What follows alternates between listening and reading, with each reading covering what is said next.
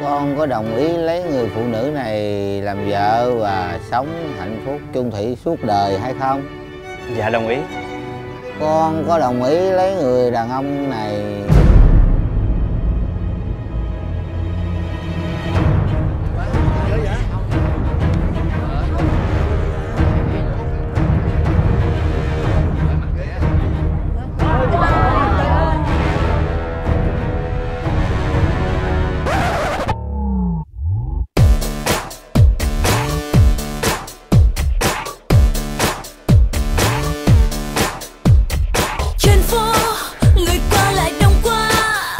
chắc các bạn chưa kịp biết tôi là ai chứ gì. Tôi là thái. Còn các cô kia đã từng là bạn gái của tôi. Em này cứ làm như là anh như là những người đàn ông mà em từng gặp chứ đó. Anh ngủ có một mình hả? nhưng mà các bạn đừng dội nghĩ xấu về tôi như vậy. Bởi vì tôi cũng chỉ muốn đi tìm cho mình một người vợ hoàn hảo. Ai mà chẳng muốn như vậy chứ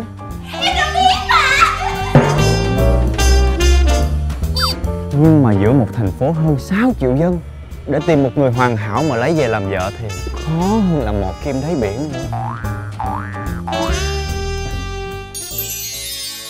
Nhưng cuối cùng thì tôi cũng đã tìm được.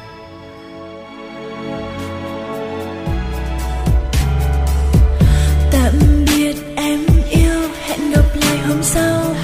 Một mình anh đi nghe vương vấn trên đường về. Chỉ có điều là khủng khiếp quá.